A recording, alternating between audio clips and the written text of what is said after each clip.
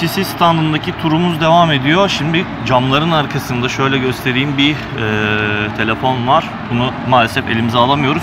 Dizel 825 modeli.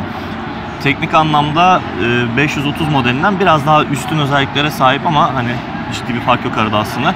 Ekran boyutu tarafında bir farklılık görüyoruz. 5.5 inçlik bir ekran var ve burada da 720p ekran kullanılmış. İşlemci tarafında ise Snapdragon 400 işlemciyi görüyoruz.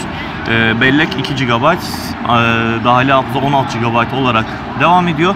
Kamera tarafında ise arka tarafta 2.2 diyafram açıklığına sahip ve 28 mm fokal uzunluğuna sahip 13 megapiksellik bir kamera var ve Full HD video çekebiliyor. Ön tarafta ise 5 megapiksellik yine f2.8 diyafram açıklığına sahip bir batarya e, ön kamerayı görüyoruz. Telefonun bataryası ise 2700 mAh kapasitesinde ve böyle bir cihaz için aslında uzun bir kullanım ömrü de sunacak gibi görünüyor aslında. Telefonu elimize alamıyoruz arkadaşlar haliyle. O yüzden e, cam arkasından sizlere göstermeye çalışıyorum. Dizayn olarak 530'un neredeyse aynısı. Ekranı büyük bir versiyonu diyebiliriz. Ve e, buna ek olarak da teknik anlamda bazı konularda üstünlük sağlayan bir model olarak söylenebilir. Tabi burada şimdi tasarım tarafında Dizel 530'da gördüğümüz o arka taraftaki bileklik yerine bileklik şöyle alt tarafa taşınmış. Onu da şöyle göstereyim sizler için.